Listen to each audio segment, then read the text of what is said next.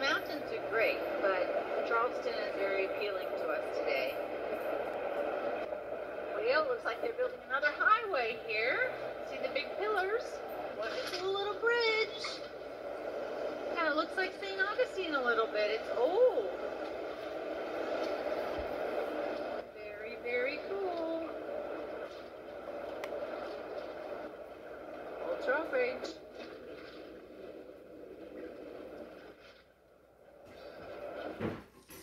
So we just got to uh, campsite St. James, I believe. I may have that wrong. Joe, correct me. We are Charleston.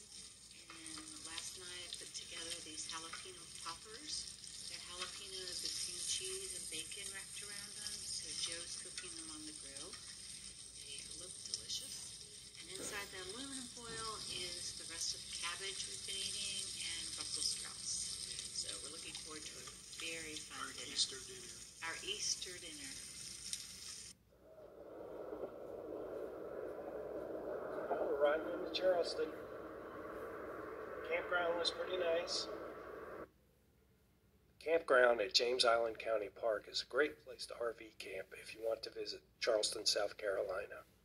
It's only about seven miles to the historic district, and they even offer a shuttle service for ten bucks, which, if you take into account paying for parking, is not a bad deal. The park is a large county park with a pool, boat rentals, hiking, biking, a dog park. They even sell propane. It really is an RV destination resort. It seemed great for kids. They have regular special events on the weekends, so check out the calendar before you go. The list price is about 65 bucks a night with full hookups, which isn't bad for what you get. We've been to Charleston several times, really love the city. You can spend days just walking around.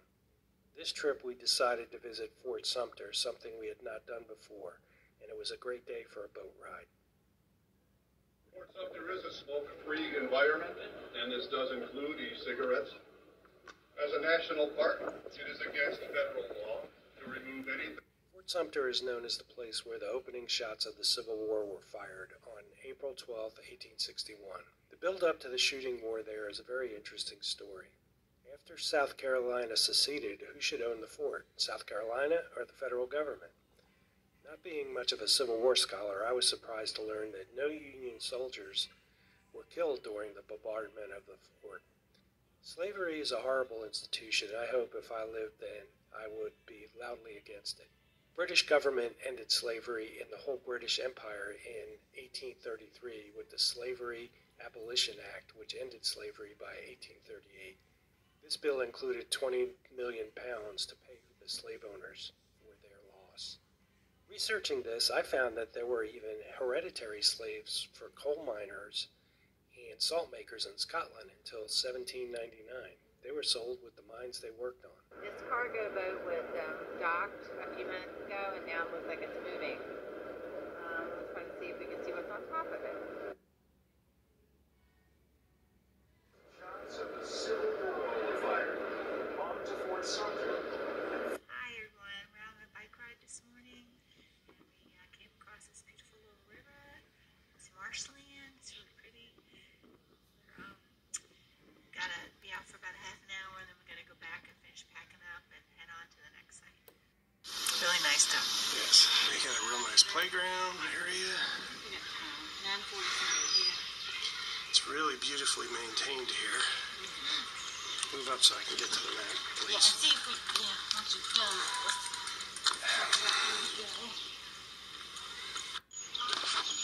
like a spray pool, spray play area. Not turned on right now, but looks like it'll be a lot of fun in the summertime. A group of kids over there.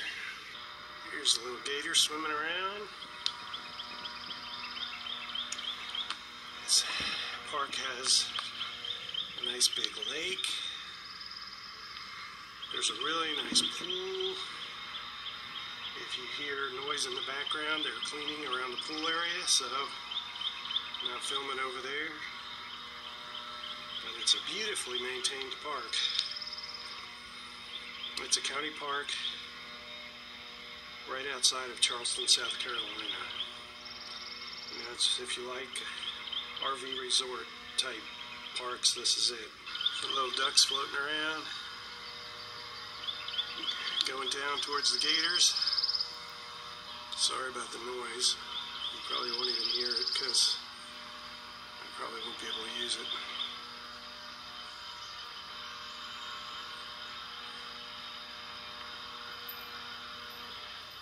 Now, I guess he's good.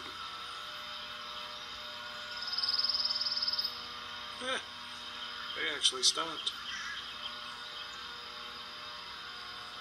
Are you gonna go peck on him? Come on now, guys, it's getting a little long. We only spent two nights at this park, and most of a full day there was in Charleston. But we did enjoy riding our bikes around the park. Some of the things, like the spray pool, were closed, but there was enough to keep us occupied. And again, I think this would be a great place for family fun. So we've officially been to South Carolina. We spent five nights in South Carolina, and now we feel like we can add our sticker to our United States map. So we have four states now. Yay, South Carolina! Yeah. Oh, yeah. Okay, so we've got the slides in. Getting ready to go. Just ready to unhook the uh, water and electric. Well, we're packing up. Like I said earlier, it's a nice campground. It's a really beautiful park. A lot of amenities right outside Charleston. I mean, you know, the only issue you really don't have any privacy. You're kind of in a RV type resort.